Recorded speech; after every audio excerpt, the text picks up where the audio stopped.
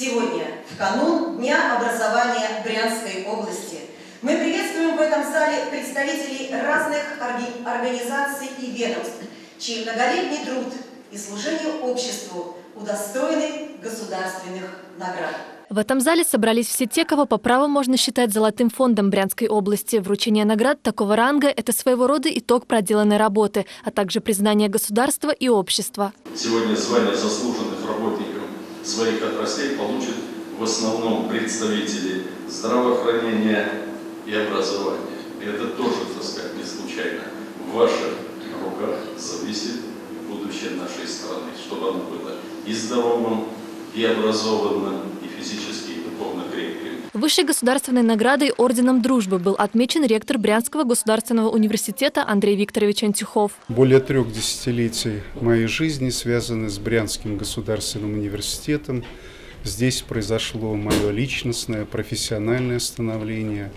Я искренне признателен тем учителям, наставникам, благодаря которым ну, я, наверное, в чем-то состоялся. Поэтому вручение сегодня государственной награды для меня большая честь. Это повод к тому, чтобы работать еще лучше, еще качественнее. Лучшим работникам образования на торжественном вручении были присвоены звания заслуженных учителей Российской Федерации, специалисты другой не менее важной сферы деятельности, в чьих руках жизнь и здоровье тысяч людей, также были отмечены особыми титулами заслуженных врачей и работников здравоохранения. Это доверие, которое оказал президент Владимир Владимирович Путин и, соответственно, губернатор Брянской области, Дума Брянской области и вся медицинская общественность Брянской области.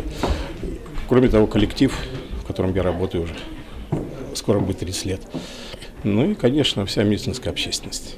Поэтому спасибо им прежде всего за столь высокое оказанное доверие. Знаменательно и символично, что высшие награды достойнейшим работникам Брянщины были вручены в день 69-й годовщины образования Брянской области. Кристина Перцхилава, Евгений Седачев. События. Брянск.